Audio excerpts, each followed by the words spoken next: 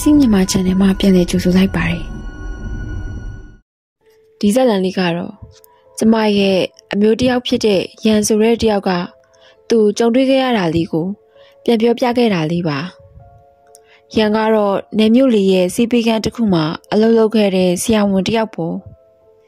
တနေ့မှာပဲဇန်လို့ခေါ်တဲ့ရွာသားတစ်ယောက်ကတော့ကုသမှုတစ်ခုပြုလုပ်ဖို့အတွက်ရန်ကိုလာရှာရကြောင်းပြပြလိုက်ပါတယ်ဇန်ကတော့ သူ့ရဲ့နောက်ကျောမှာအဖူတစ်ခုဖြစ်နေတာမလို့သူတော်တော်ကြီးခံစားနေရကြောင်းပြပြခဲ့ပါတယ်ပို့ပြီးကြောက်ဖို့ကောင်းတဲ့အရာကတော့အဲ့အဖူဟာတခါတလေဆိုရင်အတန်တွေထွက်ထွက်နေတာပါတဲ့ရန်လည်းလူနာဘာဖြစ်နေလဲဆိုတာကိုသိရဖို့အတွက်အင်ဂျီကိုတစ်ချက်လှန်ပြခိုင်းလိုက်ပါတယ်အတန်ထွက်နေတဲ့အဖူဆိုတာလည်းမရှိသလိုလူနာဟာထင်အောင်ထမဖြစ်နေတာပဲဆိုပြီးပဲရန်တွေးလိုက်ပါတယ် ကြောကုံအနောက်ကအဖူကြီးကိုကြည့်မယ်ဆိုရင်တော့တက်နစ်ဘောလုံးလောက်ကြီးမားတဲ့အဖူကြီးကဖြစ်နေတာကို တွေးလိုက်ရပါသေးတယ်ဒါကြောင့်မလို့ရန်လဲလူနာကယာနာတစ်ခုခုကြောင့်ဖြစ်ရင်ဓမ္မတက်မှုတွေကြုံနေရလို့အခုလိုဖြစ်ရတာပါလို့ပြောလိုက်ပြီးတောက်ရမဲ့ဆေးညွန့်တွေကိုလည်းထည့်ပေးလိုက်ပါတော့တယ်ပြီးတာနဲ့မတက်တာဘူးဆိုရင် သူ့စီကိုပြန်လာလို့ရကြောင်းဇန်ကိုပြောရင်းစေကန်အရှိထိလိုက်ပို့ပေးခဲ့လိုက်ပါတယ်ရန်ကတော့အခုလူနာဟာ ဒီမြို့မှာခိုးရာလူရာတွေလုပ်နေတဲ့နမယ်ပြက်ပြီးသားလူဖြစ်နေတာမလို့သူနဲ့အရန်မပတ်သက်မိတာကောင်းမယ်ဆိုပြီးပဲတွေးနေလိုက်တာပေါ့နောက်တနေ့မှာပဲရန်တယောက်အဖျားလူနာကိုကြည့်ပေးနေတော့မှဇန်တယောက်အလောကြီးနဲ့တကားဖွင့်ပြီးဝင်လာခဲ့ပါတယ်အခုဆိုရင်သူ့ရဲ့နောက်ကျော်ကအရာကြီးဟာတော်တော်လေးကိုနာကျင်နေရတာမလို့ညနာတစ်ခုလုံးဟာဇောချွေးတွေပြန်နေရင်သူ့ရဲ့နောက်ကျောကိုဖိပြီးတော့ နာကျင်နေတာတွေကိုကုပေးပါဆိုပြီးတောင်းဆိုခဲ့တာပေါ့ရန်လည်းအဖျားလူနာကိုမြ мян ကြည့်ပေးရင်းနဲ့ဇန်ရဲ့နောက်ကျော်ကအဖူကြီးကိုတစ်ချက်ပြန်စစ်ဖို့လှုပ်လိုက်ပါတယ်အခုချိန်မှာဆိုရင်ဇန်ရဲ့အခြေအနေကိုကြည့်ရင်ရန်ကတော့ထပ်ပြီးတော့ကိုညီပေးနိုင်မယ်ဆိုတာတိတ်မသေးကြတော့ပါဘူးဇန်လည်း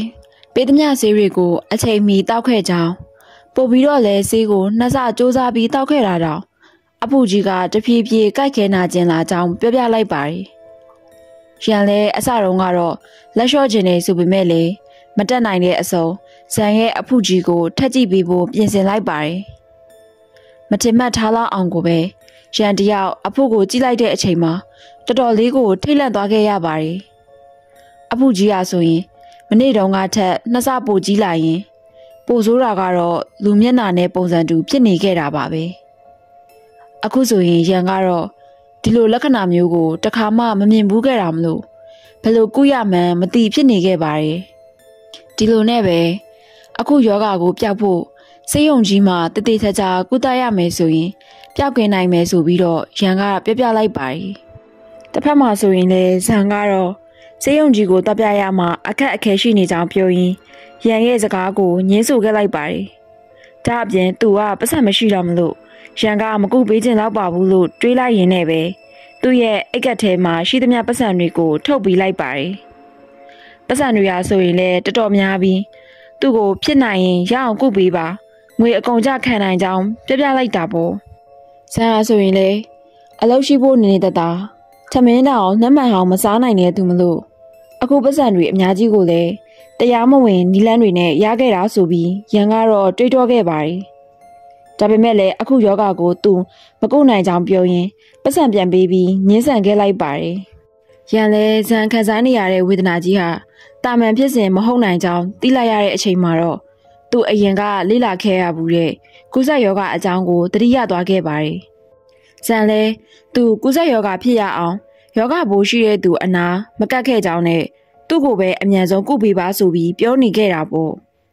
ရန်လဲသူတခုခုလုပ်ခဲ့တယ်ဆိုရင် အမြန်ဆုံးပြပြပေးပါလို့မိကုန်းတွေထုတ်နေပေမဲ့လေဇန်ကတော့ဘာတခုမှပြန်မပြောပဲပတ်စံတွေကိုပြန်ယူပြီးတော့အင်ဂျီကိုပြန်ဝေ့ရင်စေယုံကနေအမြန်ထပ်သွားလိုက်ပါတော့တယ်ရန်ကတော့ဇန်တခုခုမကောင်းတာတခုခုလုပ်ထားမယ်ဆိုပြီးတပြေးပြေးနဲ့ရိမ့်မိလာခဲ့တာပေါ့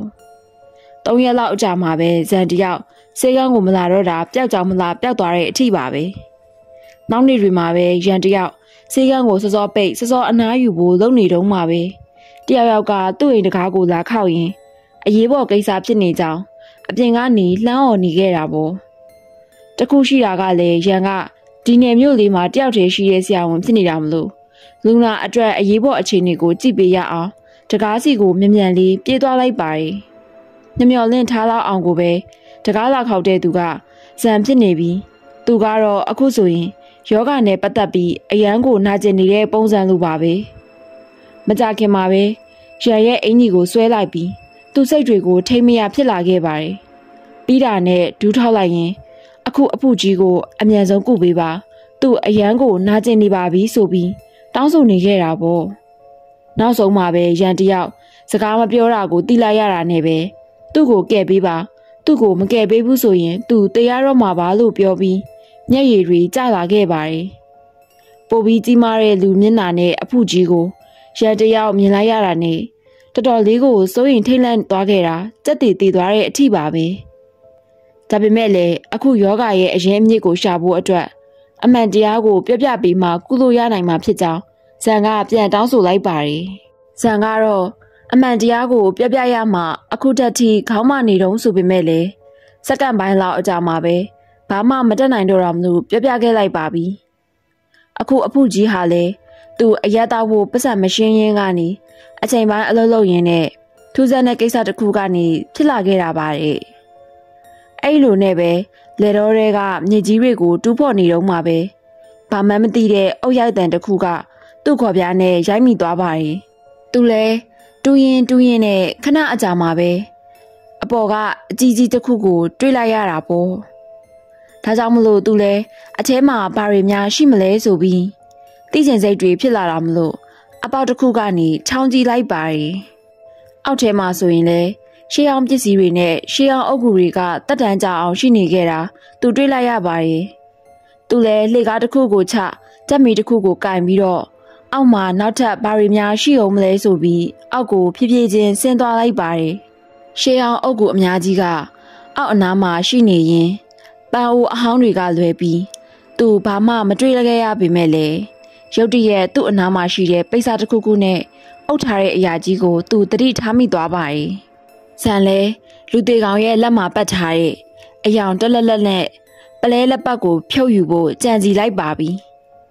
ပြီးတာနဲ့အဲ့ပလဲလက်ပတ်ကိုတက်မီနဲ့ထိုးကြည့်လိုက်ရင်ဒီလက်ပတ်ဟာ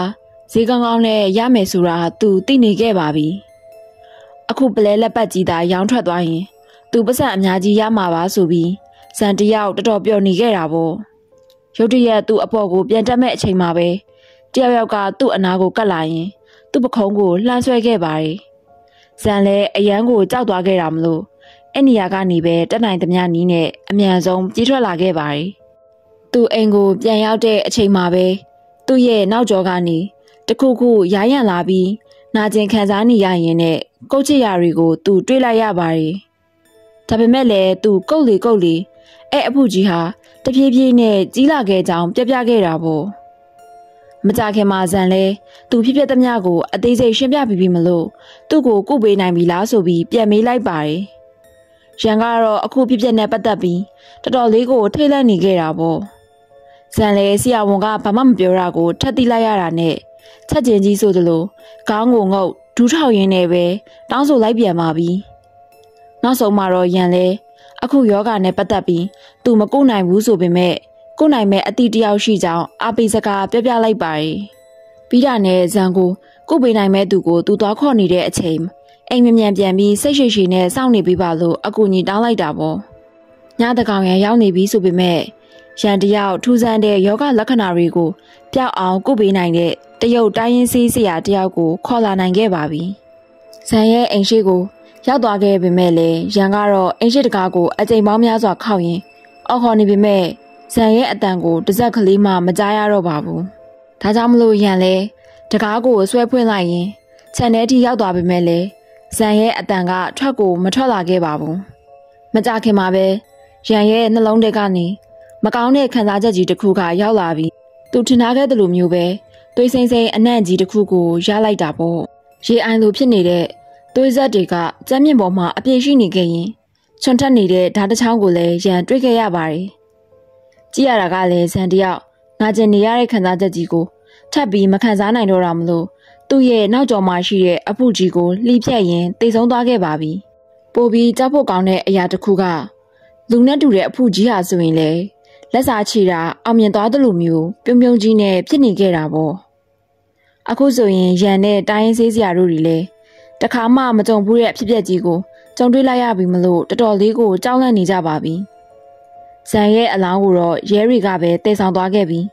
သူတွေ့ခဲ့တဲ့ရှေးအောင်အုပ်ကူရှိတဲ့နေရာကိုလည်းရဲတွေကလုံးဝရှာမတွေ့တဲ့အပြင်အခုအဖြစ်အပျက်ကြီးကအပြေရှာမရတဲ့ကိစ္စကြီးလို့ဖြစ်သွားခဲ့တာပေါ့အဆုံးထိနားထောင်ပေးခဲ့ကြတဲ့အတွက်ကျေးဇူးတင်ပါတယ်နောက်ထပ်စိတ်ဝင်စားစရာကောင်းမဲ့အကြောင်းအရာလေးတွေရှိသေးတာမလို့ YouTube channel လေးကို like and subscribe လုပ်ပေးသွားပါအောင်နော်။ ဒါရတဲ့နေ့လေးဖြစ်ပါစေရှင်။